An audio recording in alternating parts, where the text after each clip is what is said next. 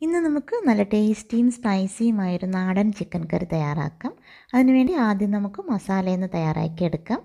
ഒരു പാനിലേക്ക് അര ടീസ്പൂൺ കുരുമുളക് ചേർക്കാം. അര ടീസ്പൂൺ പെരിഞ്ജീരകം. രണ്ട് ടീസ്പൂൺ മല്ലി. ഇതിലേക്ക് പന്ത്രണ്ട് ഉണക്കമുളക് ചേർക്കുന്നുണ്ട്. ഇത് നല്ല സ്പൈസി ആയിട്ടാണ് വയ്ക്കുന്നത്. എരിവിനനുസരിച്ച് എട്ട് മുതൽ പന്ത്രണ്ട് വരെ ഉണക്കമുളക് ചേർക്കാം. ഒരു കറുവാപ്പട്ട ചേർക്കാം.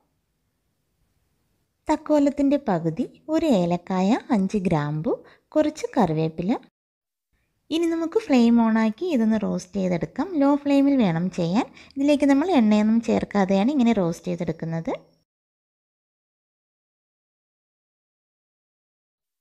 ഇത് റോസ്റ്റായി വന്നിട്ടുണ്ട്. ഇനി നമുക്കിതിനെ ഒരു മിക്സിയുടെ ജാറിലേക്ക് മാറ്റാം. നന്നായിട്ട് പൊടിച്ച് നമുക്കിത് മാറ്റി വയ്ക്കാം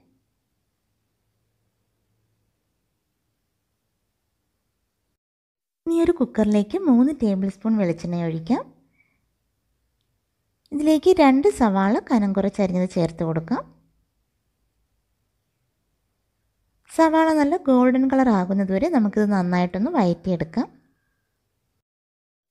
സവാള നന്നായി വയന്ന് വന്നിട്ടുണ്ട്. ഇനി നമുക്കിതിലേക്ക് ഒരു ടീസ്പൂൺ ഇഞ്ചി ചതച്ചതും ഒരു ടീസ്പൂൺ വെളുത്തുള്ളി ചതച്ചതും ചേർത്ത് ഒരു മിനിറ്റ് ഒന്ന് വയറ്റി കൊടുക്കാം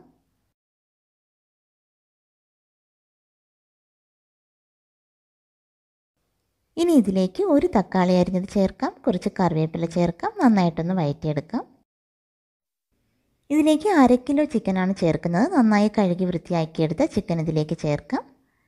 പൊടിച്ചു വച്ചിട്ടുള്ള മസാല ചേർക്കാം. ഇതിലേക്ക് അര ടീസ്പൂൺ മഞ്ഞൾപ്പൊടി കൂടി ചേർക്കാം. മഞ്ഞൾപ്പൊടി ചേർക്കുന്ന വീഡിയോ കട്ടായി പോയതാണ്.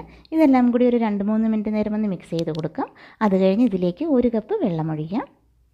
ചൂടുവെള്ളമാണ് ചേർക്കുന്നത്. ഇതിലേക്ക് ആവശ്യത്തിന് ഉപ്പ് കൂടി ചേർത്ത് നമുക്ക് കുക്കർ അടച്ച് ഒരു മൂന്ന് വിസിൽ വരുന്നത് വരെ മീഡിയം ഫ്ലെയിമിലൊന്ന് കുക്ക് ചെയ്തെടുക്കാം.